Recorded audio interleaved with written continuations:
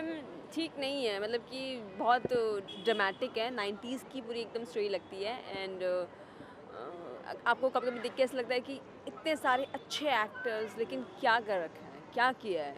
राय लक्ष्मी की बात करें तो वो उनके कुछ कुछ बिट एंड पीसेस में परफॉर्मेंस अच्छी है। इमोशंस की बात करें तो वो कन्वे नहीं कर पाती इमोशंस रति अग्नोत्री इतनी अच्छी एक्टर है। Pankaj Tripathi is the most impressive of all सब में उसमें पंकज त्रिपाठी सबसे सही लगे हैं। And you know this this one more director जिन्होंने एक उसमें रोल किया। आप सरप्राइज़ हो जाती कि अच्छा ये ये लोग काम कर रहे हैं बट यू नो ज़्यादा कुछ है नहीं। बहुत सारी चीज़ें उलझी हुई सी है but you just feel disappointed कौन सी मूवी देखी आपने? Julie two how was it it was nice it was very okay like आजकल के ज़माने में इतनी अच्छी मूवीज़ आ रही है. We have such talented directors and after all of this if Bollywood is coming up with this level of movie it's not like what the audience expects. So it's a bit disgraceful because the movie had such a good start, but then uh, the ending was left us with absolutely nothing. So uh, Raya Lakshmi has done a good job as an actress. She looks bold, she looks beautiful, but other than that, there's nothing much more to the movie to go watch it, and it's not good to waste our money. Direction could have been better. The production uh, quality could have also been better. The actress का performance अच्छा था but direction थोड़ा सा better हो सकता था। तो compare to the previous Julie movie this is kind of bit stretch movie बोल सकते हैं क्योंकि जितना एक्सपेक्टेशन था जैसे Prasoon Joshi and all have been here and distribution is done by Prahlad Nihalani तो थोड़ा बहुत एक्सपेक्टेशन था बट द थिंग इज़ इनको बहुत स्ट्रेच किया गया है वेर इन uh, थोड़ा अच्छी तरीके से दिखा सकते थे but for the actress part Rai Laxmi ने she is given hundred percent बहुत ही बकवास और वाहियात मूवी है। ऐसी मूवी मैं सजेस्ट करूँगी, कोई भी जाके ना देखे। ये मूवी तो बिल्कुल भी नहीं।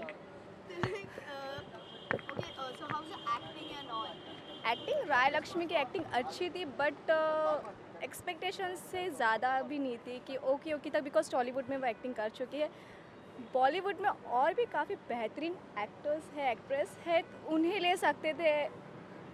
मूवी एकदम बकवास है। रे, मैं तो रेटिंग उसको 1.5 का दूँगा। सुपर फ्लॉप जो मूवी होती है ना, वैसी मूवी है। बहुत एक्सटेंड किया है, गाने वाने भी कुछ इतने अच्छे नहीं है। मूवी को और अच्छा बनाया जा सकता था। फैमिली के साथ भी नहीं देख सकते। Full time adult watch movie है। अच्छी मूवी नहीं है बिल्कुल भी। ऐसे मूवीज़ इन लोग को बैन करने चाहिए। क्यों उन लोग थिएटर में लगाते हैं सब मूवीज़ सही सही बात नहीं है सब। बंद करना चाहिए सब। Very very very very ordinary as an ordinary films looks interesting at least. you expect a lot and gives you nothing. That's what I felt. किसकी एक्टिंग की बात करेंगे The girl has been presented, the female I mean. She's okay. But sir, Not nothing, bad. nothing special in the film. कुछ भी खास नहीं लगा I felt there would be a lot special when the film started. But ends as a very ordinary film. Very ordinary, one of those uh, thrillers of the 70s. Who's done this, who done that, and one camera was there and this chip was here and that thing was there and you know getting all the international uh, mm, the people who rule the industry thoda sa wo that type you know gulf se koi rule kar raha hai koi wahan se finance kar raha hai. Try to put everything the black the dark side of the film industry. All that a woman has to undergo.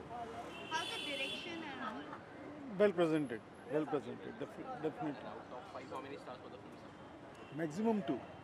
Max, maximum two. The, the, the lady is pretty. Lady is pretty.